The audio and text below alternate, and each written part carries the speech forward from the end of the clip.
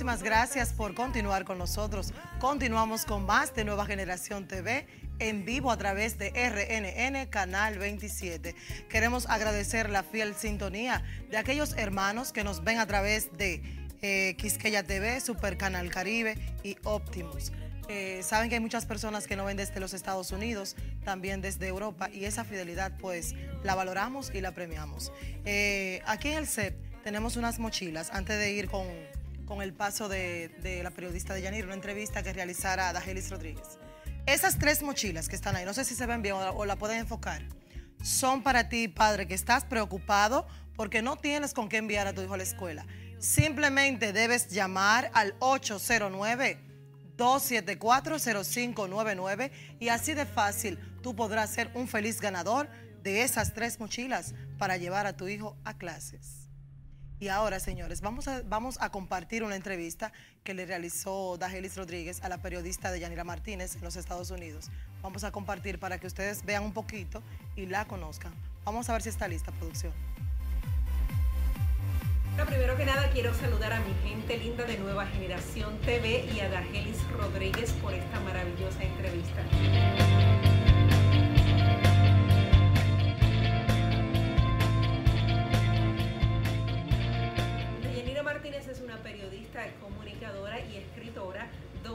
Nací en Santo Domingo, República Dominicana. Me defino como una persona emprendedora, que le va por lo que quiere, se traza metas y le gusta cumplirlas. Soy un poquito eh, hiperactiva y me gusta siempre, siempre tengo que tener un proyecto en la balanza, es, es parte de mi naturaleza.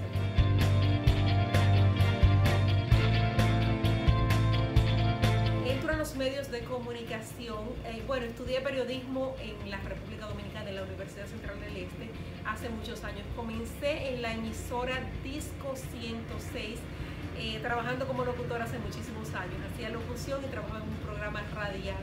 Después me trasladado a Estados Unidos, empiezo a trabajar en un periódico en funciones no periodísticas, pero en el área de publicidad y de desarrollo.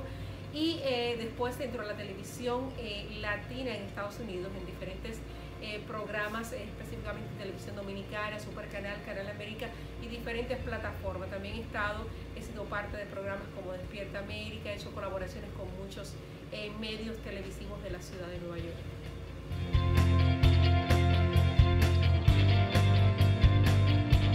Mi mayor pasión yo pienso que es inspirar y comunicar, ayudar.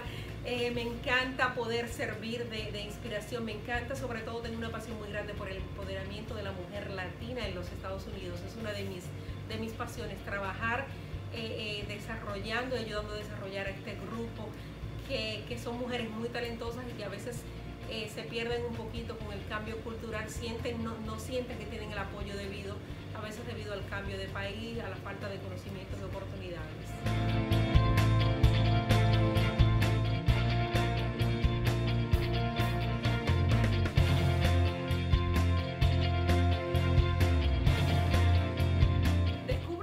Creo que a través del trabajo que hago, mucho trabajo eh, con eventos de la comunidad, hago mucho trabajo para presentar las buenas caras de los latinos en, la organización en que trabajo.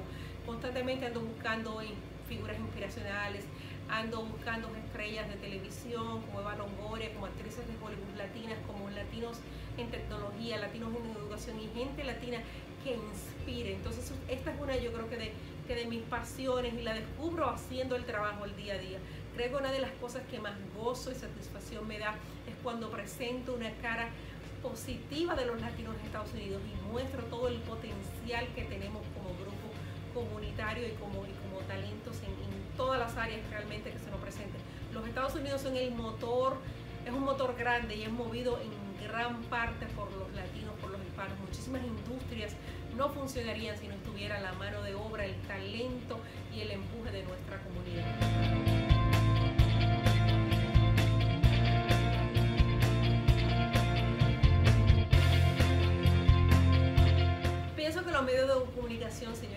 Eh, eh, determinantes para transformar vidas y sí tenemos la capacidad de hacerlo. En la misma manera en que se puede influenciar de manera negativa, en la misma manera en que se puede hacer una canción viral, en que se puede hacer un video viral, en esa misma, en esa misma manera se puede hacer el, empoderamiento viral, los mensajes positivos se pueden hacer inspirar, se puede traer inspiración, se puede traer esperanza, se puede traer educación y se puede traer tantas cosas a las masas a través de los medios de comunicación que siempre y cuando sean utilizados de la manera correcta son una herramienta fabulosa.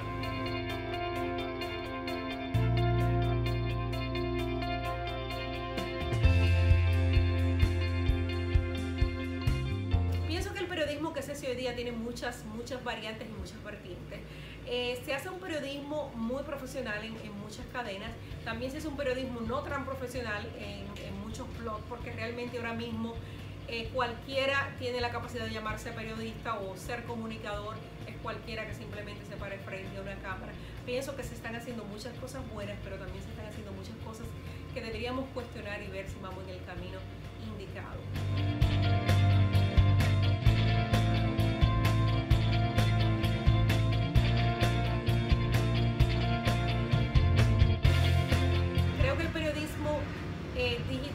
Será sustituido no sustituir el periodismo escrito. Realmente yo siento que la palabra escrita tiene poder. Eh, eh, por ejemplo, el periodismo digital vemos que la, capacidad de enfoque es muy corta, que los artículos deben ser cortos, no debe llevar más de 4 o 5 minutos. Realmente el hecho de que tú te puedas acostar en un mueble con un libro por horas, encontrar compañía, encontrar eh, inspiración, realmente la palabra escrita creo que nada se compara con el poder de ver, de tú poder ver plasmado un artículo, una historia, un libro. Eso, eso es algo que, trasciende eh, eh, y no tiene explicación realmente. No podemos, tal vez no podamos explicar lógicamente, pero realmente para mí, para muchísimas personas, la palabra escrita no puede ser sustituida jamás por una pantalla, por un monitor.